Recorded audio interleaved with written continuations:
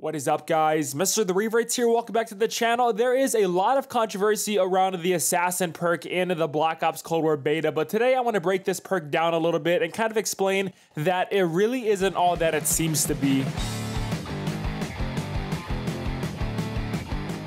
On day one of the beta, as soon as people were checking out the perk list, there was a lot of talk about the Assassin perk being super duper overpowered and unfair to those players who worked hard to get on a kill streak. Now, what Assassin does is you can see enemies on a kill streak on your minimap with an indicator, and if you happen to kill them, then you are going to receive an extra amount of score for that kill. Now, the amount of score you get is multiplied by whatever streak they're on times 50. So, for example, if they're on a 5 kill streak, then you just earn yourself 250 score. If they happen to be on an 8 kill streak, you kill them, then you earn 400 score as an added bonus.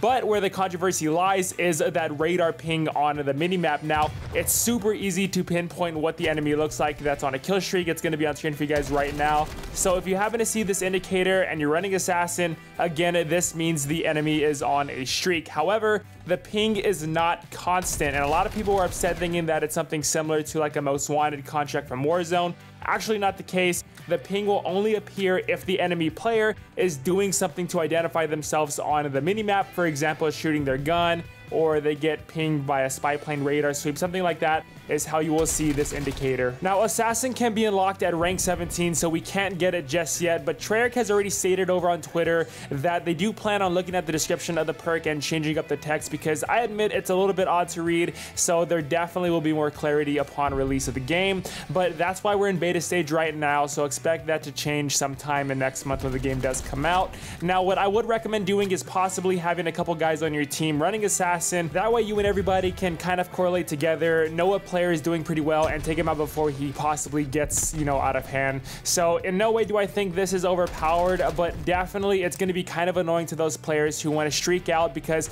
those players with assassin are going to want to go after him every single life and shut whatever he's doing it down. I think the main objective of this perk was to eliminate those who like to camp and get on streaks, you know, like hit like the head glitch and just let people come to them. But please let me know down below in the comments what are your thoughts about Assassin. Thanks for watching. If you guys want to see more, feel free to subscribe and click the bell icon so you can't miss out on a single video. Also, feel free to come hang out with me in my Discord server, Twitch stream, and over on Twitter. Links can be found down below. I love you guys so, so much. Have a great rest of the day. Till next time, I'll see you guys later.